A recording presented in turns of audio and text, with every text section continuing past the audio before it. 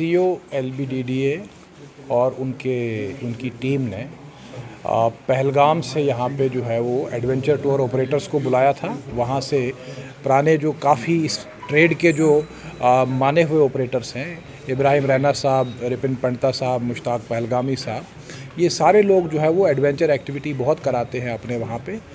तो इस आज यहाँ पे इन्होंने इनके ज़रिए से एक बहुत ही अच्छा नौजवानों के लिए एक वर्कशॉप रखा था जिसमें लाइव डेमो दिया गया कि आपको अगर ट्रैकिंग पे जाना है तो क्या क्या चीज़ें, किस तरह की तैयारी, क्या सामान, किस तरह का साजो सामान होना चाहिए। ये सारी चीज़ें और फिर वहाँ पे जाने के लिए आपको किन किन प्रिकॉशंस का लेना ज़रूरी है, ये सब चीज़ें इनको सिखाई गई। और कल भी यहाँ पे जो है वो इसी बारे में रजिस्ट्रेशन हुआ पहले दिन।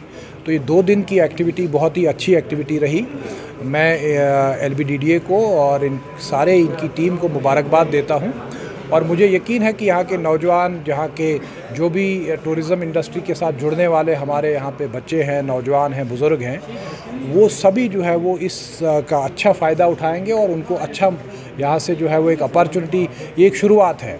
इस शुरुआत को वो अप, अपने मनतकी अंजाम तक लेंगे और यहाँ टूरिज़म एडवेंचर टूरिज़म एक्टिविटी और बाकी जो एक्टिविटीज़ हैं चाहे कैंपिंग है चाहे होम स्टेज़ हैं उस सबको प्रमोट करेंगे ताकि कुपवारा ज़िले में जो नौजवान है या बाकी बेरोज़गार लोग हैं उनके लिए रोज़गार के वसाइल पैदा इसमें पूरी तरह से क्लियर है कि हमको प्रमोट करना है टूरिज़म को और आज जो है उसी सिलसिले की एक कड़ी थी। बाकी एक्टिविटीज़ भी चल रही हैं। एल ने बंगस में पहले ही जो है अपने टेंट स्पिच कर दिए हैं। अब ये फॉर्मली जाके उसको शुरू करेंगे और और भी लोगों को जो है वो कैंपिंग के लिए इनक्रेज करेंगे जो लोकल यहाँ का नौजवान है। लोकल यहाँ के एडवेंचर टूर ऑपरेटर्स हैं। तो हाँ ये एक कंटिन्यूस एफर्ट है।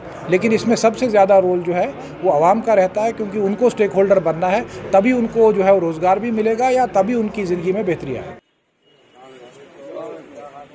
ये दो जगह का पब्लिसिटी करने की ज़रूरत नहीं है ऑलरेडी पब्लिसाइज अब जैसे अभी पहलगाम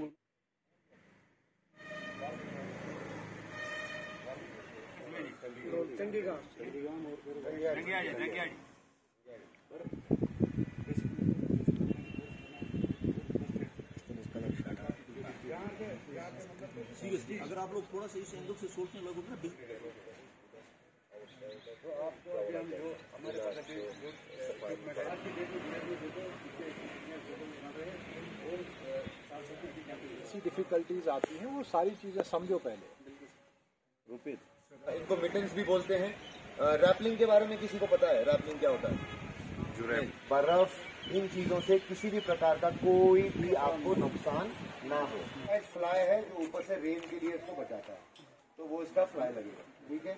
वो ये साउथ कश्मीर में काम करने वाले हमारे जो ये यहाँ पे मेहमान आए हैं पहलगाम में जो ऑपरेट कर रहे हैं इनको 20-20 साल हो गए यही काम करते हुए। जब से इन्होंने जो है वो आ, हम कहते हैं ना कि जूही को अकल को आता है होश संभालता है तो ये तब से ही लगे इन्होंने और कोई काम नहीं किया। और आज ये किसी को अपना रोज़गार बना के और किसी चीज़ पे डिपेंडेंट नहीं है। जिसमें आप तो किसी पर डिपेंडेंट नहीं रहना आप जितनी मेहनत करोगे, उतना रोज़गार बनेगा। और टूरिस्ट रखना है।